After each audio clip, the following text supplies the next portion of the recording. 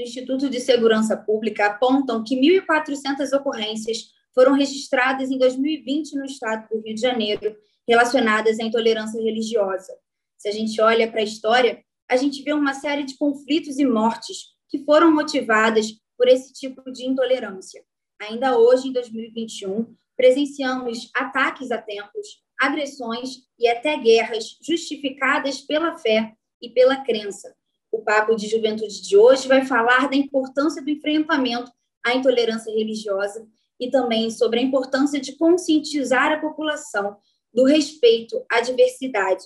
Para falar com a gente sobre esse tema, a gente recebe Luzia Lacerda, líder do Instituto Expo Religião. Bem-vinda, Luzia. Muito obrigada, Natália, de estar participando desse programa. A gente que agradece. A gente vai contar também com a presença da deputada Tia Ju. Bem-vinda, Tia Ju. Obrigada, querida Natália. Obrigada a todos aí. A Luzia Lacerda, o Atila Nunes, o meu colega de parlamento. É um prazer estar aqui com vocês discutindo um tema tão importante como esse. O prazer é todo nosso, deputada. E também, como a deputada já adiantou, a gente recebe o deputado Atila Nunes. Bem-vindo, Atila. Muito bom ter você aqui com a gente. Estamos juntos. Vamos lá. Obrigada, deputado. Bom, para começar, eu queria lembrar que o Rio de Janeiro concentra é, uma, é um dos, dos estados do país que concentra mais diversidade de religiões e a gente tem aqui uma forte influência das religiões também de matriz africana. E, ao mesmo tempo, a gente tem esses números altos de intolerância religiosa, de ocorrências relacionadas à intolerância religiosa. Eu queria começar com a tia Ju, né, que é deputada hoje, é vice-presidente da CPI, que foi é, lançada na LERJ há pouco tempo, recentemente, que já começou os trabalhos, para falar um pouquinho para a gente sobre a importância de combater essa intolerância religiosa, esse tipo de prática, e para falar também como vão ser os trabalhos da CPI, Tia Ju.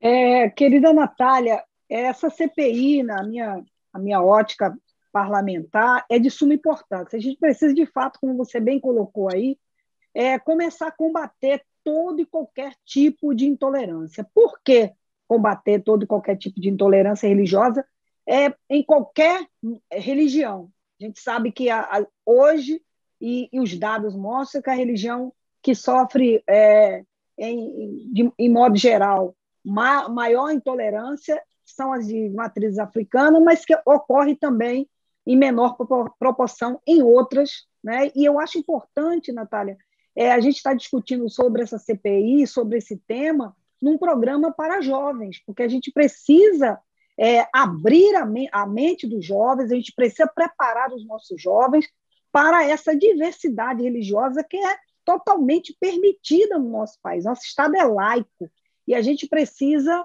combater essa, esse tipo de, de intolerância que a intolerância religiosa ela vai vir gerando outros, outros tipos de violência. Né? Começa com a discriminação, aí daqui a pouco a profanação e parte para as agressões. Então, a CPI vem nessa linha de combater todo e qualquer tipo de intolerância. De tra... Eu tenho certeza que será muito rica as informações e os instrumentos que essa CPI trará para que a gente possa dar o pontapé inicial aí é, no combate à intolerância. Como você começou aí o, o programa falando, esses são conflitos que já começam lá de trás dos primórdios, porque fica aquela, aquela, aquela guerrinha religiosa, que a minha religião é, é a melhor, a minha mais certa, a minha mais correta. E o indivíduo precisa ter liberdade, a sua liberdade de culto, a sua liberdade é, de escolher o seu sagrado, de de seguir aquilo que ele quer e até mesmo de trocar de religião. Porque a gente, eu, por exemplo, sofri muitas críticas, ainda sofro hoje, porque eu, eu, eu mudei de religião. Eu tenho liberdade de estar em uma, estar em outra. Para mim é muito bom, porque eu respeito todas. Quem me conhece sabe que eu respeito todas as religiões, mas também a garantia da liberdade de você dizer: hoje eu, eu sou católica, agora eu quero ser espírita, agora eu quero ser um budista, eu fui é, evangélica, agora eu quero ser candomblecista. Há liberdade de culto no nosso país. E essa liberdade precisa ser garantida. A gente sempre que fala de intolerância, né, Tia Ju, a gente é, é ruim, né? Qualquer tipo de intolerância é ruim, mas quando a gente fala da intolerância religiosa, é ainda mais dolorido, né? Que quando, como você falou, já vem conflitos há séculos, a gente vê essas brigas há séculos, e são uma briga por uma questão tão é, ligada ao amor, ligada à paz, ligada ao bem, que é a religião, né? Que na verdade é o que a, a, as religiões pregam e o que a gente deveria seguir. Eu queria pedir para a Luzia falar um pouco para a gente do trabalho do Instituto Expo Religião. Luzia, é, qual caminho você, né, que já está aí nessa estrada há muito tempo, já tem muita experiência nesse enfrentamento à intolerância religiosa, qual caminho para a gente conseguir essa convivência pacífica e respeitosa entre as religiões? O Instituto Expo Religião esse ano completa 10 anos. Nós estamos nessa estrada há 10 anos. E desde o início, é, eu sempre evitei usar a palavra intolerância, porque eu acredito que quando você luta contra a intolerância, você busca ser tolerado. E uma religião e uma fé não é para ser tolerada, é para ser respeitado. Então, eu acredito que, em primeiro lugar, você tem que respeitar aquilo que você ganha ao nascer. Ao nascer, você recebe a vida e o livre-arbítrio. Então, você tem o direito de fazer as suas escolhas e ser responsável pelas suas consequências. Não cabe a mim julgar a sua escolha. Cabe a mim saber que você tem direito a uma escolha respeitar o seu direito de escolher, seja ela qual for. Então, o Instituto sempre buscou essa, essa palavra, respeito. Aliás, em todas as feiras a gente tem é, na entrada essa palavra de respeito. Nós já fizemos muitos seminários, fóruns, rodas de conversas com pessoas envolvidas, inclusive o deputado Atila Nunes, que também foi o deputado que nos deu é, é, o título de bem imaterial, que a gente agradece muito. E em todos nós buscamos, é, não é socorrer, mas é auxiliar as religiões com mais problemas. É óbvio que se fala muito das religiões de matrizes africanas e, das, e a religião de Umbanda. Só que o Instituto hoje ele tem 28 religiões. Além disso, eu faço parte da Comissão Diálogo e Paz, criada pelo Cardeal do Rio de Janeiro, Dom Orani Tempesta, que é uma comissão interreligiosa. Inclusive, apresento a live criada por ele também, interreligiosa, todas as quartas-feiras. Então, nós trabalhamos é, lado a lado. Então, apesar da religião de matrizes africanas e Umbanda está em primeiro lugar no que tange, no que diz respeito à intolerância religiosa. Entretanto, nós temos outras religiões que também sofrem. Nós fizemos uma roda de conversa somente para as mulheres muçulmanas. As mulheres muçulmanas só conseguem emprego aqui no Rio de Janeiro e no Brasil em empregos de, de telemarketing, aonde elas não aparecem elas não conseguem um emprego aonde elas vão ficar visíveis por conta do hijab. Olha que se abriu mão de muita coisa. Elas usam calça, elas andam normal, mas o hijab é uma questão cultural, não é só uma questão religiosa. Então, elas também sofrem esses problemas. Os judeus estão sofrendo um problema grave agora. Então, assim, é um todo. As igrejas também agora passaram a ser muito destruídas. Nós temos vários casos de igrejas destruídas, imagens destruídas. Então, de onde eu acho que parte o primeiro problema? O primeiro problema parte culturalmente, porque a pior ignorância é por ignorar. Então, não houve a preocupação de que nas escolas estiver, tivesse é, a história da religião. Não é você catequizar ninguém, é você contar a história de cada religião. Cada religião tem uma história. E quando você conhece a história, você passa a respeitar aquela religião e você desconstrói também esses atos de intolerância, porque existe muita ignorância. Tem pessoas que até hoje, apesar dos ciganos não serem religião, eles fazem parte da ESP, tem gente que acha que até hoje cigano sequestra criança, come criancinha, que paganismo tem a ver com magia negra. Não. Os Icas, os Wiccas cuidam da terra, da nossa terra. A pagelança é uma das mais antigas. Então, existe um preconceito em torno das religiões e não existe uma explicação do que ela realmente é, do que ela significa, do que ela faz ou do que ela pode fazer. Então, essa é a nossa preocupação, é levar o conhecimento, porque nós acreditamos que através do conhecimento você consiga desconstruir a intolerância. Então, esse é um, é, além do assistencialismo, e o deputado Átila Nunes também conseguiu passar uma, uma lei agora muito importante sobre isso, porque sempre nos preocupou que quando havia um, um, um, um, um ataque a uma casa de matrizes africanas, na hora do ataque ia todo mundo, imprensa, todo mundo ia lá, todo mundo ficava. Só que quando sai, aquela pessoa continua dentro da comunidade e ela não tem condições mais de ficar lá, porque ela vai morrer. Então, o acolhimento dessa pessoa, depois de que ela, depois que ela faz a denúncia, é importante também, porque ali ela não vai poder continuar. Então, não é um trabalho só. É um trabalho que deveria vir desde a educação, deveria começar com a Secretaria de Educação. Volto a dizer, não para catequizar ninguém, Religião é uma coisa de foro íntimo. É, ou você traz de família, ou você escolhe, é foro íntimo. Mas para que você desse ciência da história de cada uma delas. E aí você desperta o respeito na criança. E esse respeito a criança vai levar para casa, para o pai e para a mãe. E quando o pai e a mãe falar alguma coisa fora do normal, essa criança vai ser a primeira a é, é, instruir os pais. E por isso nós com trabalhamos certeza. tanto com jovens e com crianças. Porque nós a gente vai falar sobre isso no, no segundo bloco, Luzia, sobre okay. a importância dos jovens, das crianças, né, dessa educação na base para a gente poder construir um futuro de tolerância, não só de tolerância, mas como você falou, de respeito, de conhecimento, né? Isso é muito importante. A gente vai voltar nesse assunto no segundo bloco.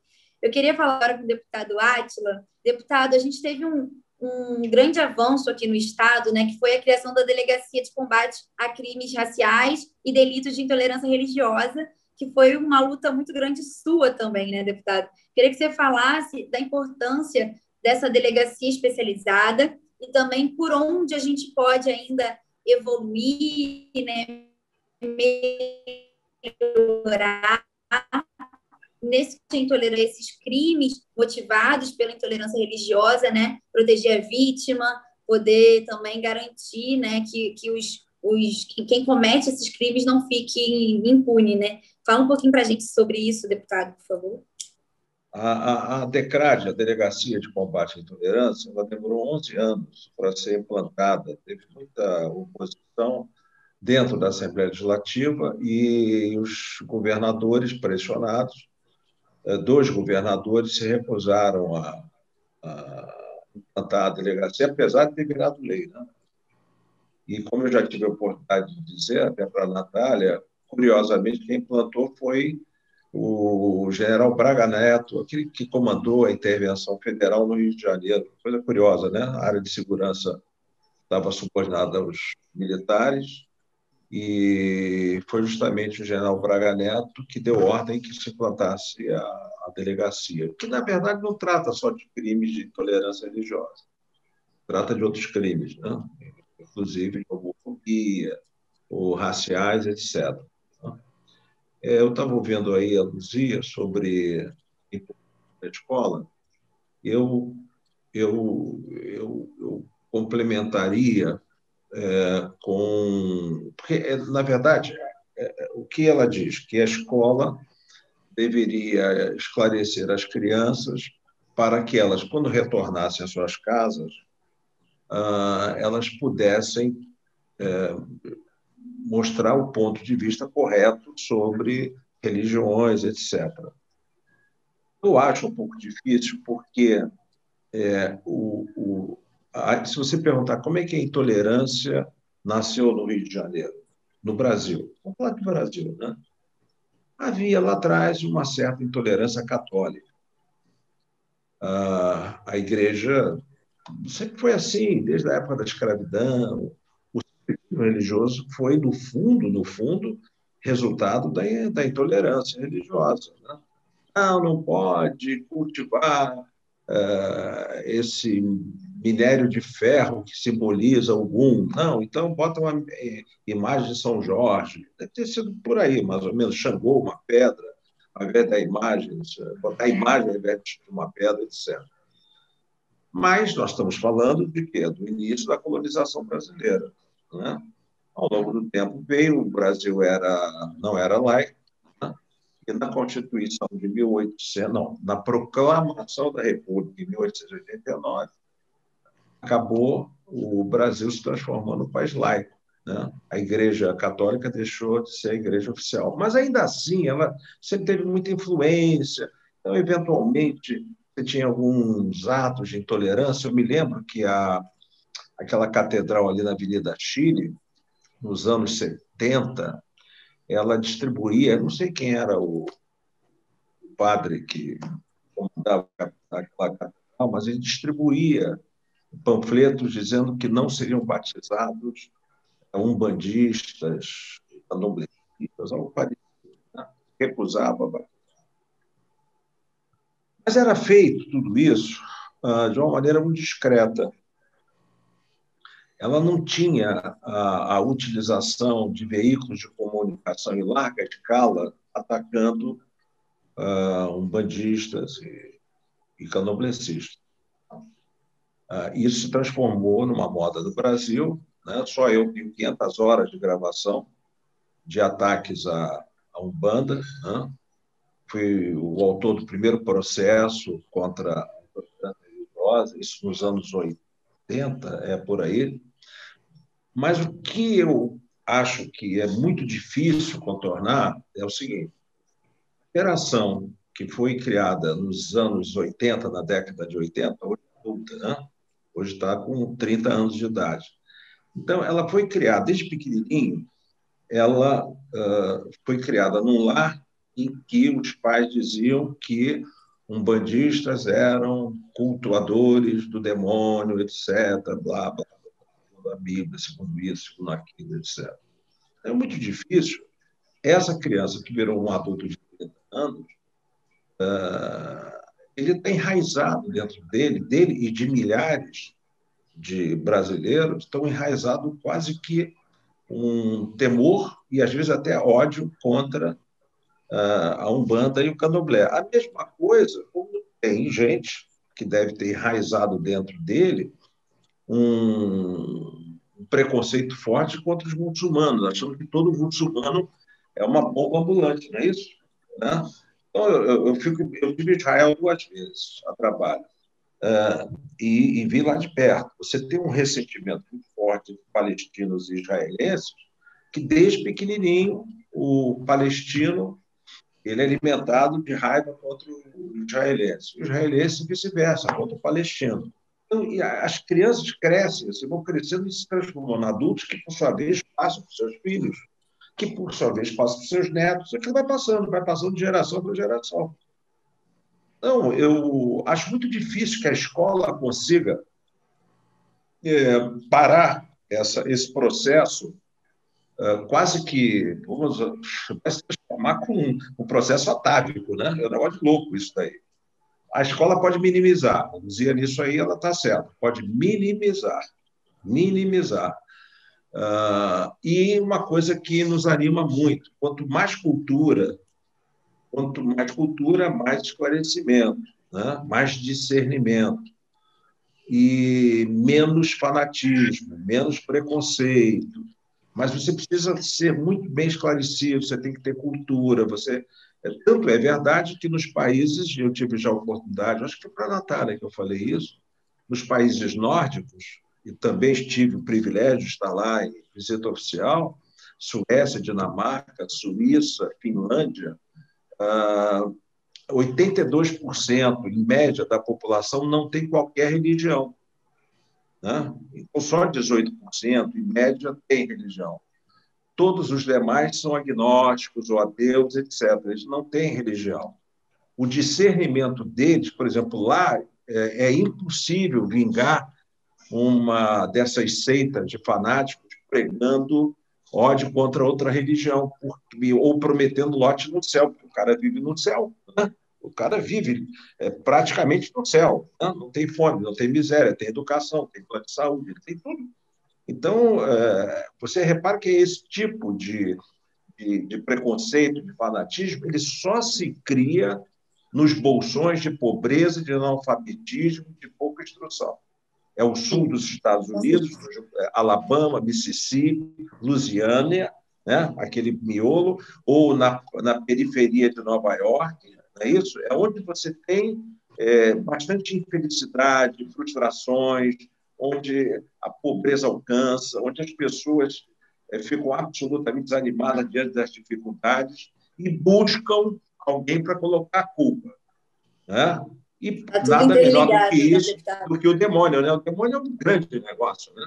Então, talvez, na minha opinião, é o, é, é, se estivesse na Bolsa de Valores, é, é o melhor investimento que se tem para dar dinheiro hoje em dia. Né?